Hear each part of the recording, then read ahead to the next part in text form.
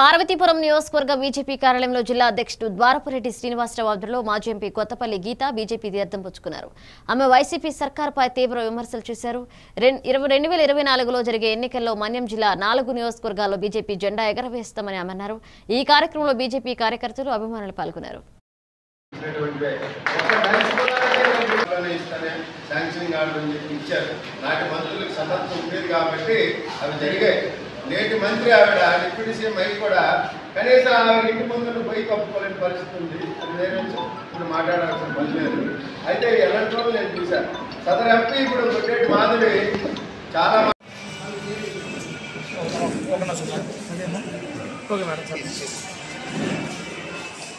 Almost మూడు సంవత్సరాల తర్వాత ఈరోజు మన్యం జిల్లాకి రావడం జరిగింది. పార్వతీపురం హెడ్ క్వార్టర్స్గా.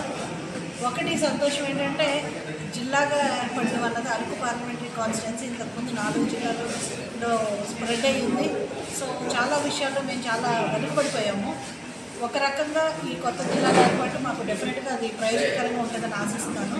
ఎందుకంటే ఇప్పుడు అరకు అంటే మన్యం అండ్ అల్లూరు సీతారామరాజు జిల్లా.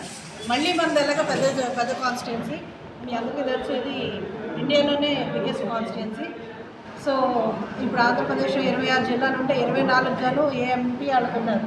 మళ్ళీ మన జిల్లా మనకు వచ్చేసరికి రెండు జిల్లాలు మాత్రం అరకు కాన్స్టిట్యున్సీగా ఉంది. ఇది చాలా అతిపెద్ద కాన్స్టిట్యున్సీ కాబట్టి క్లోజ్గా పనిచేసాం ఒక కుటుంబంలో పనిచేసాం అప్పుడు కూడా ఆయనే కాదు వాళ్ళ కుటుంబం అంతా కూడా ఇన్ఫ్యాక్ట్ వాళ్ళ అన్నయ్య వాళ్ళందరూ కూడా నాతో చాలా సత్యనారాయణ గారు ఆర్వీ గారు వీళ్ళందరూ చాలా క్లోజ్గా పనిచేయడం జరిగింది.